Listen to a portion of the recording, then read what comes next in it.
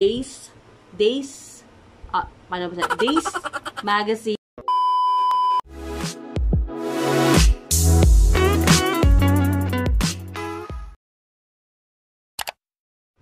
Hi guys! Welcome back to my YouTube channel. This is Liza.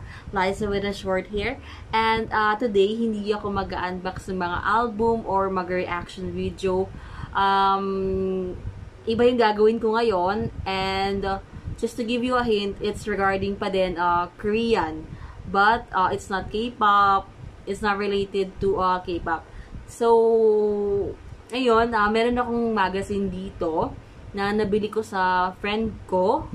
Um, and, sabihin ko na, hindi ko na matagalin. Uh, isa siya sa K-drama actors na pinaka-bet na bet ko isa sa mga paborito ko. Ayun, um, ito, si PSJ, si Park Seo-joon. So, um, itong magazine nito is um, Korea Days, Days, ah, paano ba Days magazine. And, uh, ayun, hashtag my Calvin. So, Calvin Klein Jeans yung uh, ini-sponsor niya or yung minomodel niya. And ito, hashtag um, Park Sojun. So, um, yun guys, share ko lang. Hindi lang ako more on K K-pop, mga ganyan. Um, actually, nung sa umpisa pa lang is uh, more on K Korean drama talaga ako. Um, na-addict ako sa mga Korean drama ng mga palabas. And, most of um, Park Seo-joon's um, movies and uh, Korean drama series uh, series, uh, napanood ko na, napanood ko na lahat, ayun, nagmarathon ako, and um, I assure you na lahat ng mga palabas niya is um, napakaganda, and uh, thumbs up talaga. So, ayun, umpisahan natin guys, wait lang.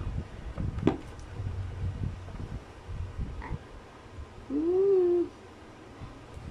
Pogi, diba? Um, ilang pages pa to. Parang mali maliit lang siya. Hindi siya makapal. Wait lang. So, ayan. Nasa, ako, pabundok ang punta ni Sojun dito. Yan. Yan. Pogi, di ba? Sabi, by the hillside. So, creative director Kang Jie, editor Jong Gilwon, fashion Im Hyerim, text Lee Junyun, photography, Hong Jang Yun. Hindi ko sila kilala. Nani? Credits lang sa kanila sa um, gumawa nitong magazine na to. And then, next naman is here. hmm, Smiley Sojun. Pogi. Yarn. Hmm, layo. Yan. Then, ang next page naman, Ito, nasa, nasa car siya. Yan. Hmm. Hmm, talaga. Yun. Tsaka yung smile dito, iba-iba. Bet na bet ko yung pagka kuha sa kanya dito. And then yung ngiti niya. Hindi, hindi ko maano. Yan, sorry. Yan.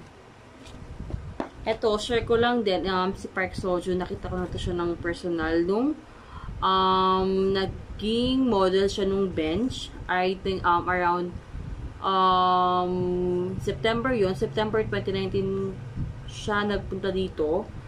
And yung ano nga, fun meeting na ginawa nung bench. And doon nakapunta ako doon. So, ang nangyari noon is um, bibili ka ng ticket pero yung ticket is worth of bench item. So, parang ang sa akin ang nabili ko is 4,000 siya. Tapos, um, patron B siya. So, medyo malapit na. Pero hindi naman yung sobrang lapit na pang VIP na yung kitang-kita mo talaga yung pores niya. Hindi. Um, medyo malapit lang. Pero yun, um, sobrang nakakatuwa talaga. Ang saya-saya kasi that was my first time to see a uh, K-drama actor. So, si Park Seo-joon pa talaga yun. Kasi, uh, madami nang nagpunta ng mga Korean drama stars here, mga actors, mga singers, ganyan. Pero, at the time, wala pa akong budget. So, sabi ko ng mga panahon na yun na kapag si Park Seo-joon ay natuloy na pumunta dito sa Pilipinas, um, pupunta talaga ako. And then, yun na nga, pumunta siya dito sa Pinas, and, uh, yun, nakita ko siya na personal. So, sobrang gwapo niya. Tapos, pinagawa namin sa kanya yung um, Egyo part niya dun sa ano, um, sa Fight My Way. So, kung hindi niyo pa napapanood yung Fight My Way niya, uh, I recommend that to you guys. So, sobrang ganda nun. So, um, going back, ayan, sa magazine yan. So, June, yan. As ito, nakabaligtad pa siya. Yan. Pero pag, i-ano ko na lang, hiharap ko para sa inyo guys. Yan. So, next na natin, tapos yun, uh, finalo ko din ng kanyang um, Instagram account. And nung time na nagpunta siya sa Pilipinas dahil nasa bench, um, nag-post siya ng video, um, maliit na video na yung sa mismong air, um, sa MOA Arena, yung nandun lahat kami, tuwang-tuwa siya kasi hindi siya makapaniwala na sobrang dami niya palang fans sa Pilipinas. So, yun. Um, I think memorable din para sa kanya yun. So, next natin is, ito na. Yan. The next.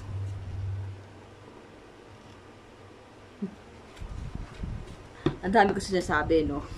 Sinishare ko lang. Yan. Ito. Pogi niya dito. Yan. Then, next is, ilang page na ba to? Manipis lang siya pero gusto kong yeah, isa-isahin nga. Pogi.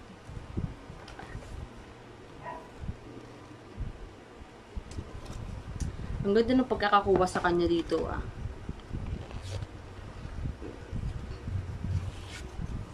Yan.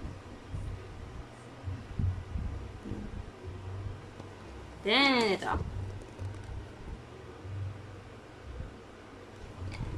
Then, next. Guys.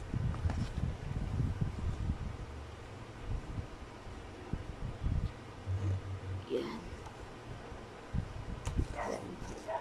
Yan. Yan. Next.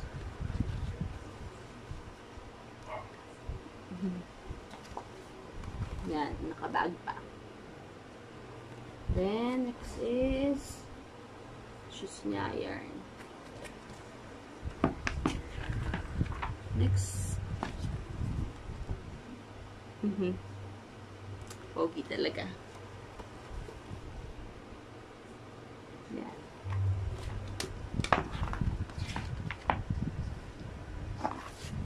Yan, next.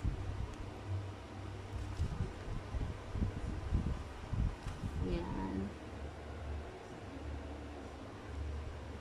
Tsaka naalala ko nga pala si um, Park Sojun tsaka si Ayu magkakaroon sila nung um, movie. Uh, I think title nun is Dream. Pero hindi ko sure kung kailan siya ipapalabas. Pero I'm actually waiting for that. Kasi nga Ayu tsaka Sojun pinagsama. For sure maganda yon And then, ito.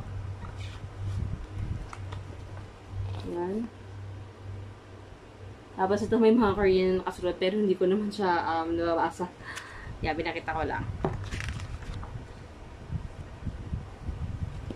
Yan. May pa flowers pa. Yan.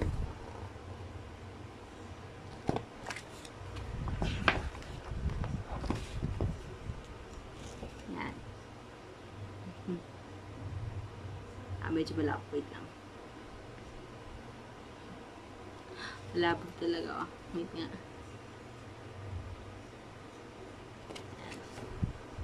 Then, ito naman yung mga damit na lang.